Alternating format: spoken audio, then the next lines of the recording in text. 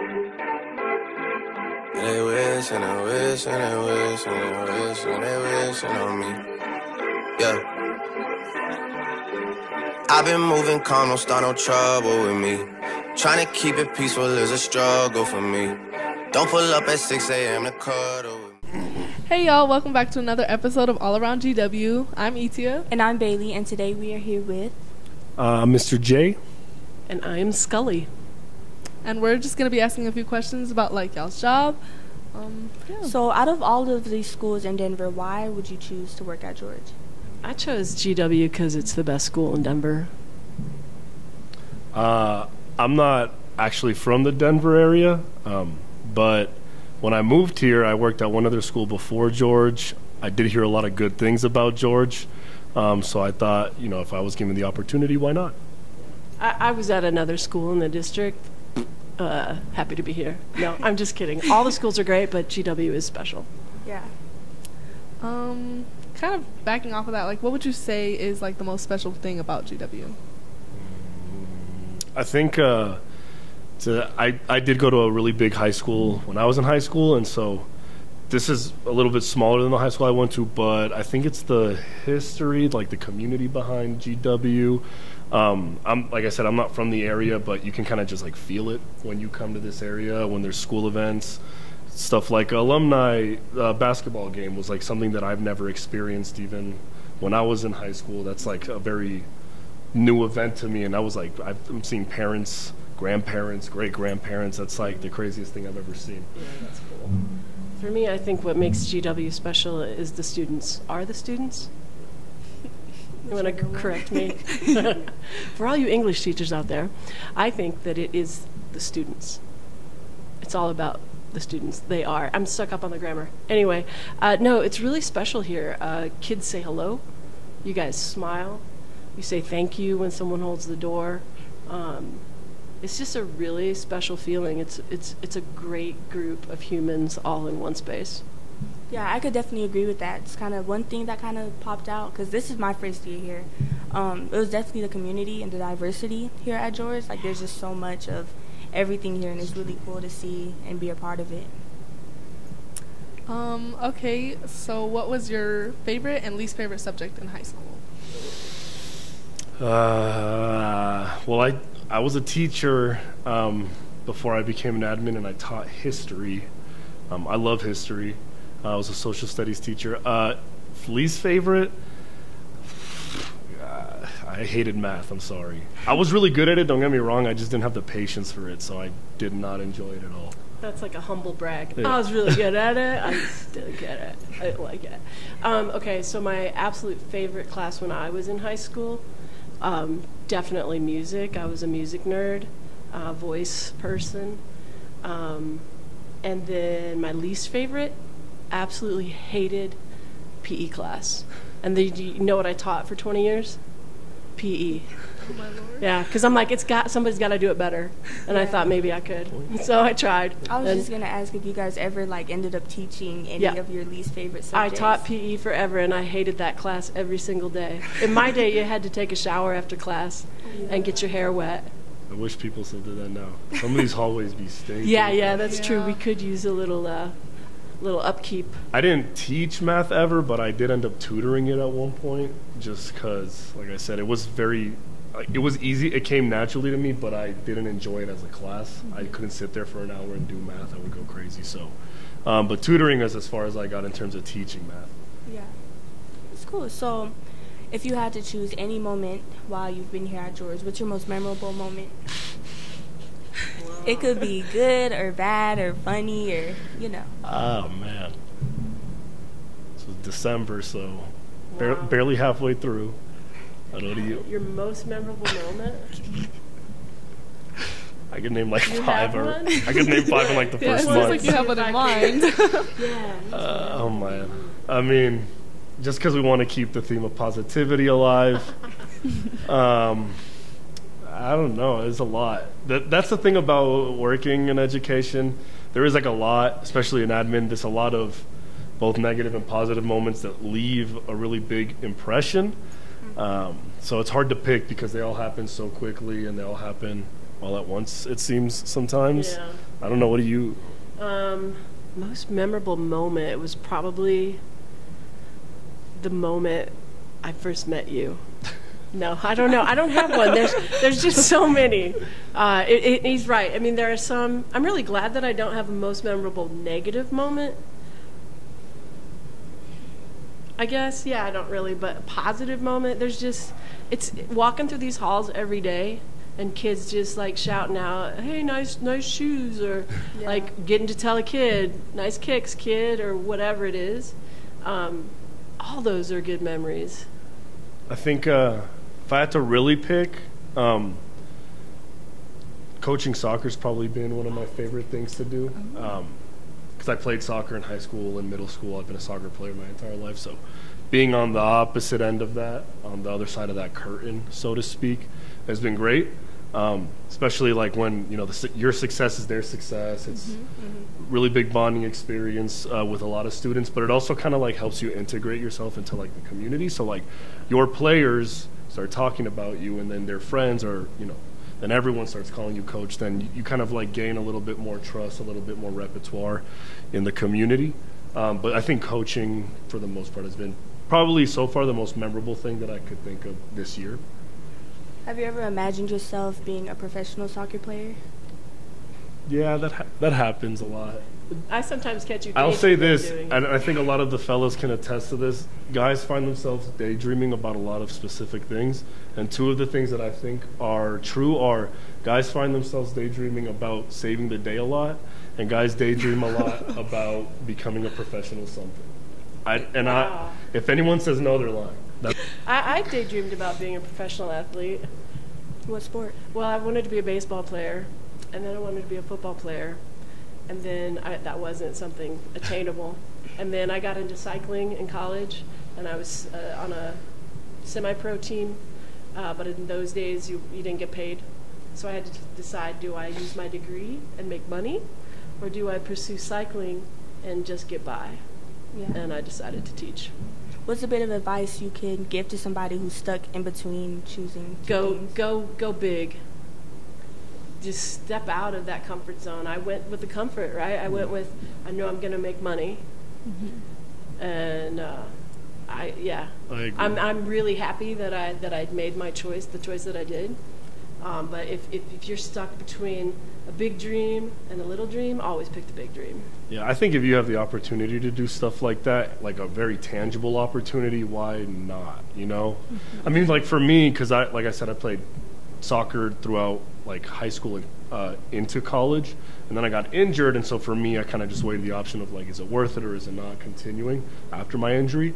Um, but like I have friends that have pursued their ambitions in that sense, like very unrealistic for some people. Like I have friends who are in the music industry. I have friends who are professional athletes. I have, I, you know, like I know people that have played here for Colorado Rapids, or, you know, they've done big things with what they wanted to do, and I think it's important that if you have the opportunity or the like very dedicated ambition of doing something like that, to actually pursue it. That's my opinion. Um, what have you found to be the best way to motivate students? we You let me know when you yeah, figure that out. If we could figure that out, we'd be millionaires. How to motivate students. Um, I, I don't think there is a secret to it, but if there were, uh, for me, it's you have to connect with someone before you can direct them, right? You have to connect with someone on a human level before you start telling them what you need them to do. Um, when I was a kid, we were so afraid of adults that you know, real, oh, yes, okay, yes, yes, and that's just those days are gone, and that's okay. It's a new, it's a new day, um, but it comes with its own challenges. So I would say, it's it's about building that connection with someone before saying, "Hey, I need you to go to class." Hey, where are you supposed to be? Yeah, I think to s- you just kind of jump off what Scully's saying. I think one thing that you learn quickly, whether it's being in the classroom with students or being an administrator or a dean, I think the big thing is there's a huge difference between commanding, right, and compliance. Mm-hmm. And like you don't, at least in my experience, you get more success out of like asking students to comply, but because compliance comes attached with an actual connection, right? Like you're asking somebody to do something for good reasons and not blindly commanding them to just do it because they have to, right? Because the reality is that like you, even me as an individual, like I hate when people just tell me I have to do something because Yeah. I have to. That doesn't make sense, right? Um, if I'm going to do something, I want to understand why it is that I'm doing it, and that goes in both directions, whether it's positive or negative. So like, if you are able to build like what Ms. Scully says, a relationship with students um, in a positive way, usually, right? Um, and usually those positive connections come from negative interactions. It's a lot of the time that's the case. But if you're able to build something positive off of that, right, then the compliance comes a little bit easier, right? Kids willing to get to class when I ask them to, but because they trust that what I'm telling them to do is not just something I they have to do, but rather something that I'd like for them to do for a good reason, right? Right. Yeah, not yelling. Like Yeah. we're not. You'll never hear the deans yelling. If we're yelling, it's it's because we have to. Um, but nobody wants to be yelled at and told what to do. But so students, when we're in the hall and we're like, "Hey, where you headed?" Just know that's our job, and we're doing it because you're here to go to class, not be in the halls. Yeah. So kind of going off of that, um, when you said like the days from your youth are different now, um, do you think your high school or college experience is anything like this, and has that prepared you to be dealing with students nowadays? Um, I'd say, at least in high school, I don't know. What was your high school? Uh, you go ahead.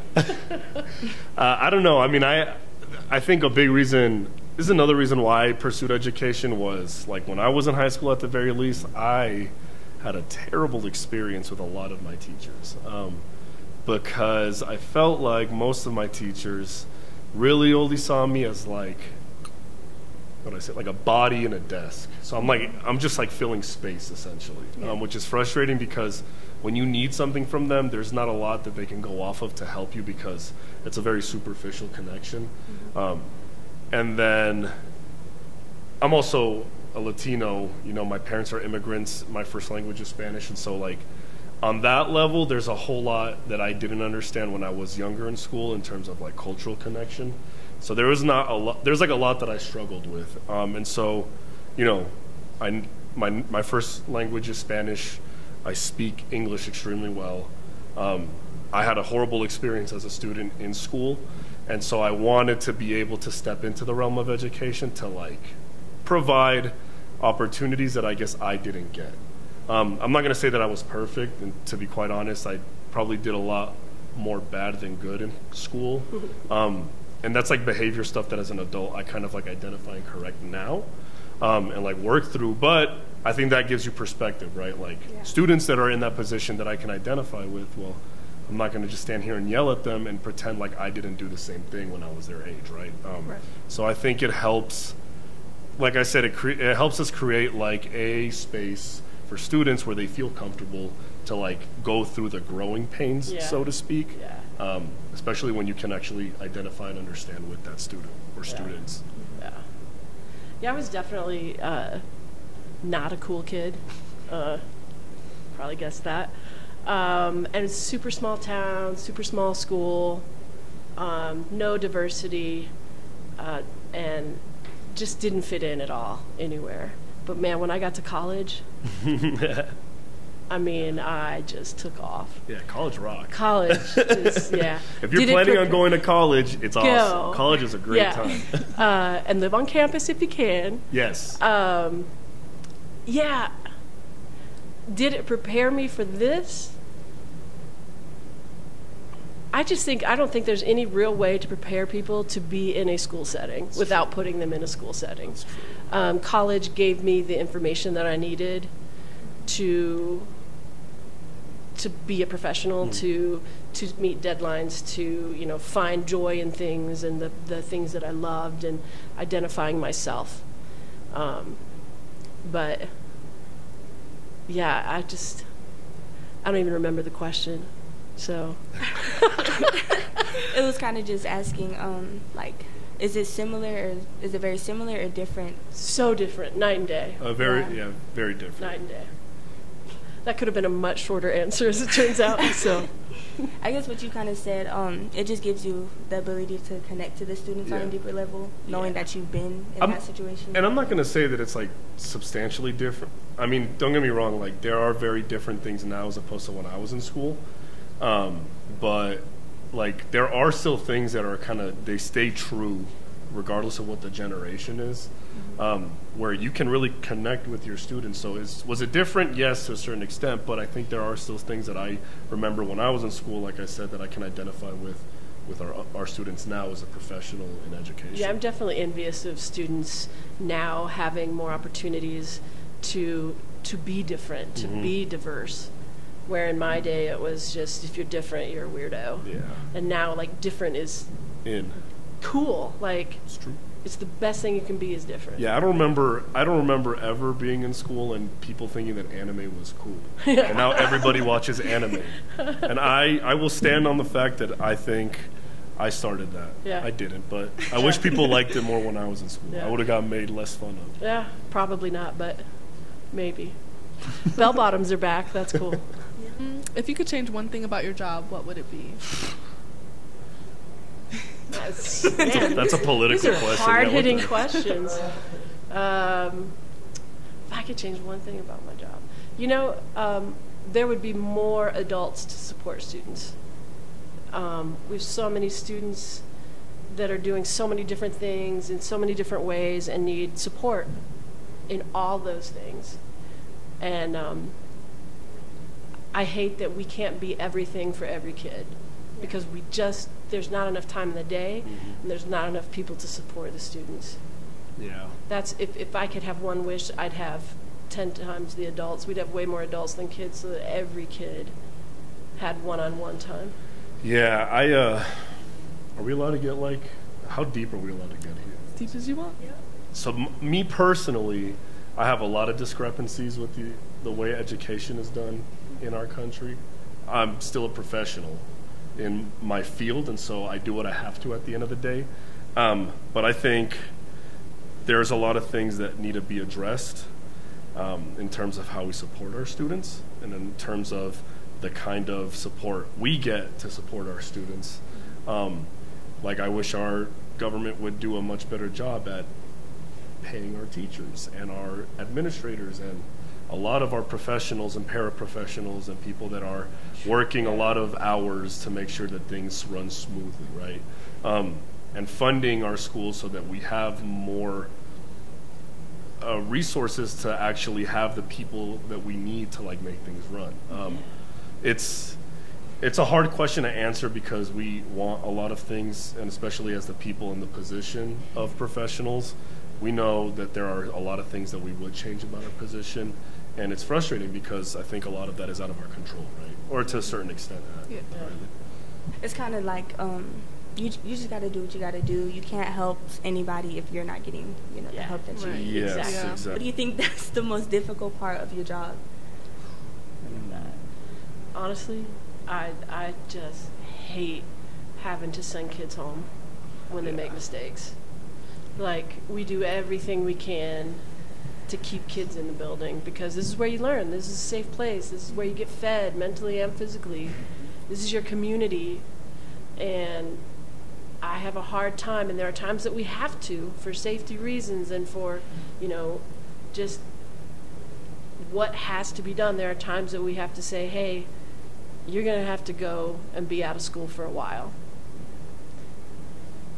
I know it's the right thing in that moment, but it's it's always hard to say to a parent and to a student that this mistake is to the point of you got to go home for today or 3 days or whatever it is because I'd much rather have y'all here Yeah. where I know you're safe, where I know you're getting what you need.